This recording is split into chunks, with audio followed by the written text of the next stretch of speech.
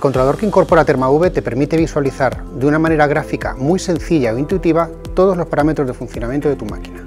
Pulsando el botón Volver hacia atrás se despliega una pestaña con toda la información relativa al estado de la unidad ThermaV.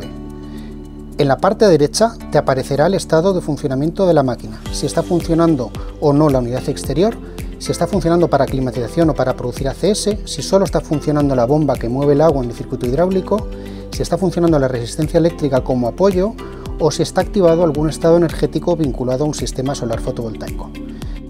En la mitad inferior del controlador podrás ver las temperaturas de impulsión y retorno del agua en la máquina.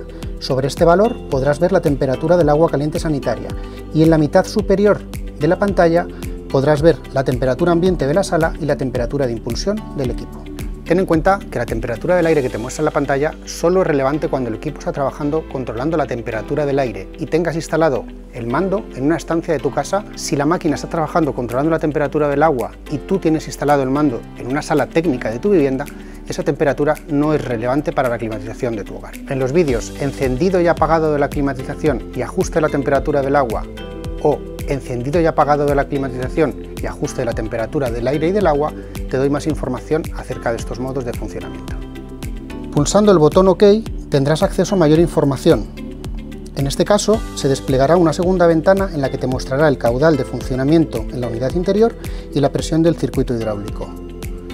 Estos valores son importantes para poder verificar el funcionamiento del equipo con normalidad. La presión del circuito ha de estar entre 1,5 y 2 bares. Si el valor es inferior o superior, te sugiero que contactes con tu instalador.